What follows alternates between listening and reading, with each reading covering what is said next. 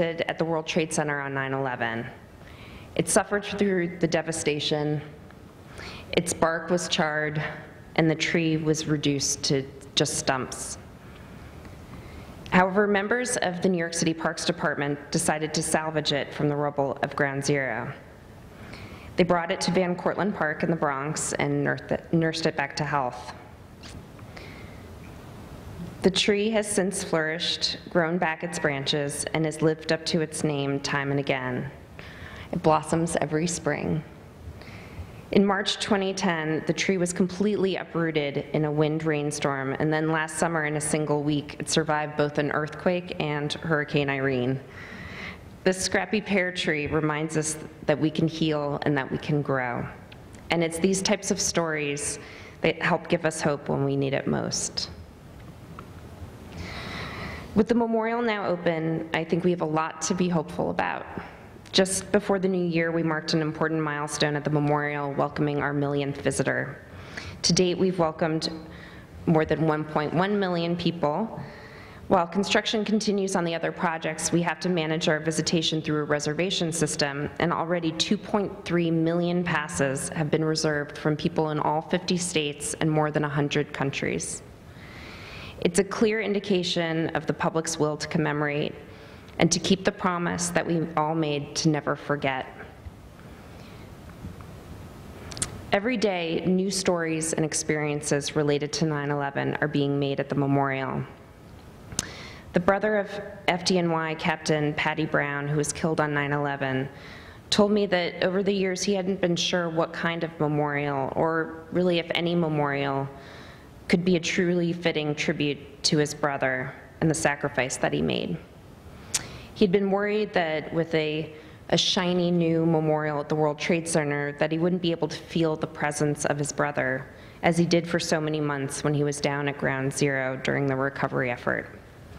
But he said to me while standing near the South Pool where his brother's name is inscribed, he said, I feel him here, and while I had no idea what kind of memorial I wanted, this memorial is exactly right.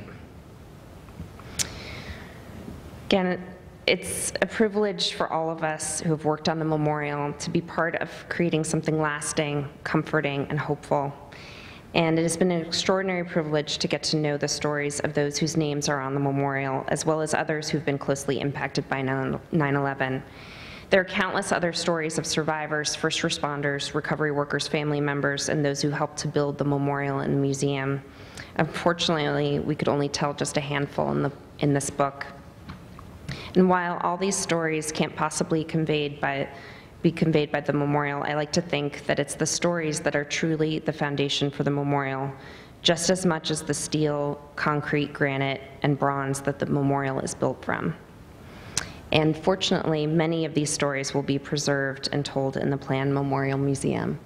Um, the pavilion is that glass structure that's pictured here. In building the memorial and planning for the museum, we have strived to do justice to the incredible stories of loss, resilience, and hope. In honoring the memory of those we lost, we hope the memorial shows that something beautiful and meaningful can emerge from tragedy.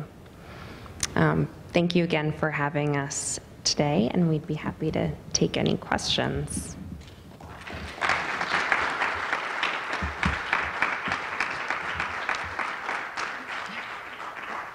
20, 25 years from now, how do you think your experience would have changed?